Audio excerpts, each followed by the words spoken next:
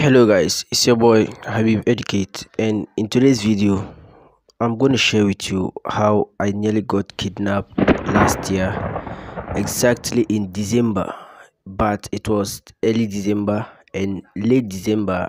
I traveled you know out of ghana to pay a visit to my dad who stays in you know cote d'ivoire just a neighboring country with ghana without wasting my time.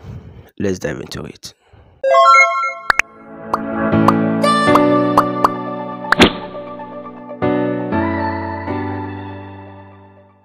alright welcome guys. If this is your first time on the channel kindly like subscribe and hit the notification bell icon so that whenever i do videos like this you'll be the first person to be notified. But before i proceed on to how it started and how it ended with the process or what i went through how i nearly got kidnapped by these kidnappers or i don't know the name to call them right in accra ghana so I also want to take this opportunity to thank you all for subscribing and being part of this Habib Tourist family. I really appreciate and you can see right deep into my eyes that this video is getting me emotional because whenever I'm alone, mostly I'm not the type who likes going out a lot. Mostly I'm indoor minding my own business. That's if I get a work, then I'm busy working. When there's no work, I'm indoor a lot of people who met me before maybe in school or in the community they know the kind of person i am then that's just by the way so i really appreciate you guys we shot our 100 video and the subscription was growing up right from facebook to whatsapp to twitter and instagram i really appreciate everyone especially tiktok because i also have a lot of friends there. So please be part of the family help support the boy. But i don't want to talk much. How did he start? As i said i'm i'm emotional guys. I woke up one fateful morning and i thought i was the happiest person on earth that day 2022 hasn't been that easy 20 right from 2020 to 2022 was one of the difficult or most difficult years that I've experienced, though 2022 is not yet ended. I woke up one fateful morning and it was in the month of December last year, early December. Because a day before that day, I had a phone call from my dad who said he has not met us since he left us when we were young, very young, and traveled to go and hustle in Cote d'Ivoire. And that's where he's been since more than 30 years, if I may say. So he was there when the war also started. We were there with him before we left and came, you know, we left the country for security reason. Now, he told me he wanted us to come and pay a visit to him because he has not seen us for more than 15 years and thereabouts. So I was here with my younger brother that was in Ghana and we were based in Dodowa at our, you know, some of our family members' place. When I had this call and he said he would send us money so that we'll book a ticket and come and pay a visit to him in December. I was very happy and as I told you, I was one of the happiest person on earth that day.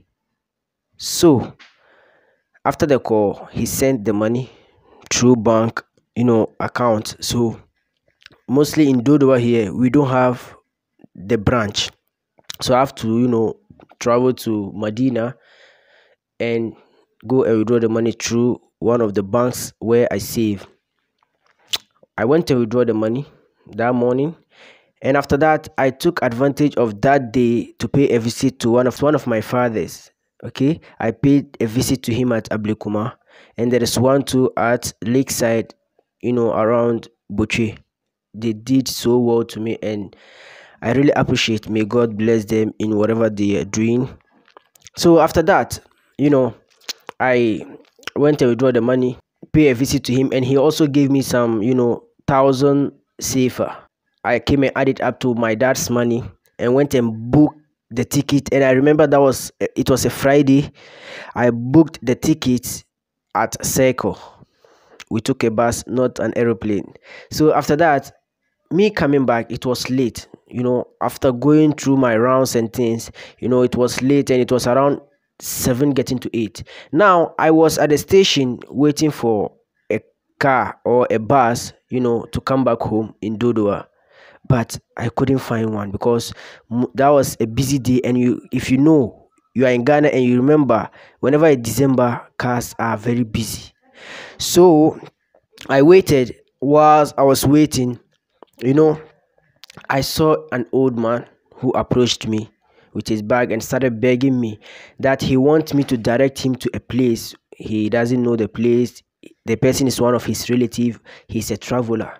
And me as a soft-hearted person you know sometimes we are too good to people.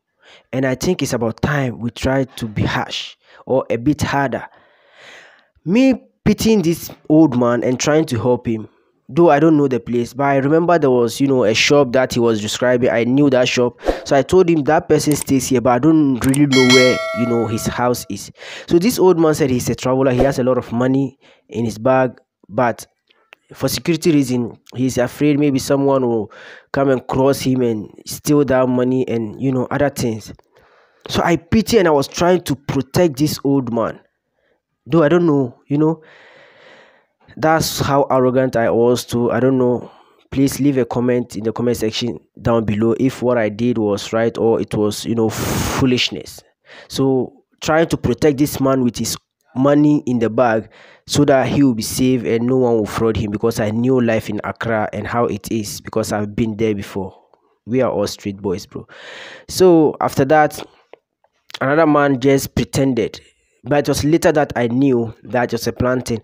Another man pretended he was crossing the road and the old man stopped him and said he wants a one of the guy's house. He, he did not know the place. The guy is his relative.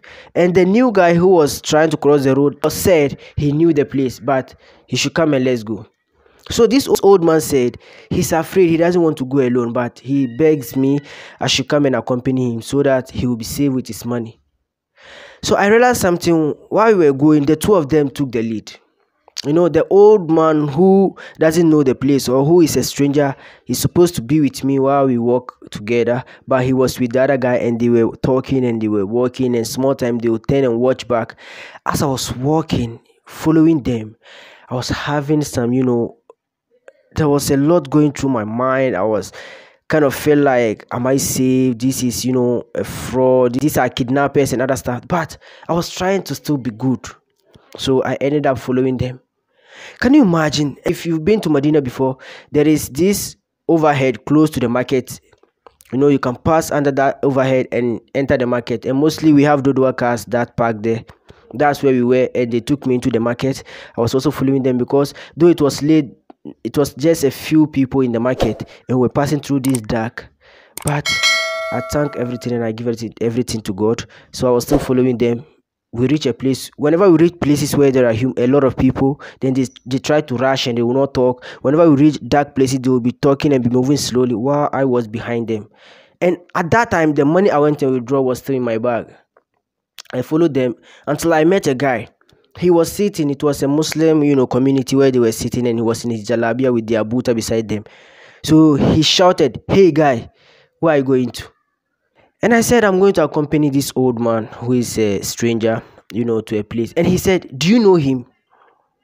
I decided not to mind. Not that I was trying to be, you know, arrogant there or bossy. No, I didn't know what was going through me at that time.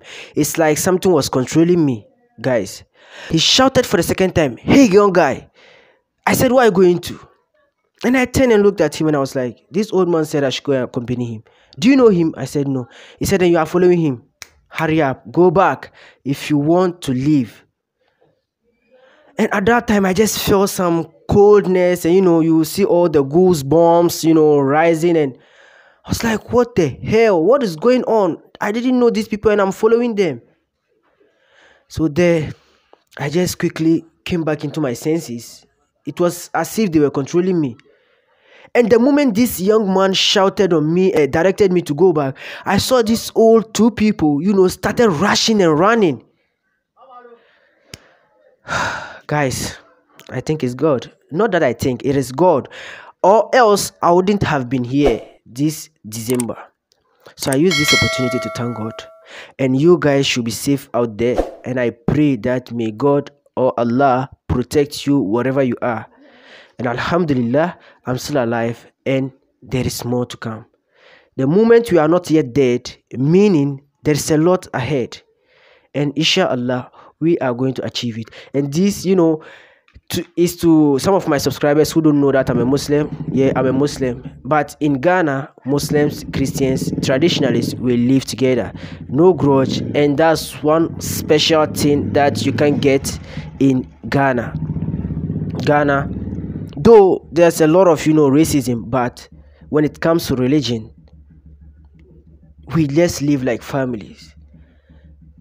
So I took this advantage to appreciate you guys out there also for supporting the channel. And I have this message you should be careful because in December a lot of people wants money. So that's where fraudsters and hackers invade the system and try to do their things.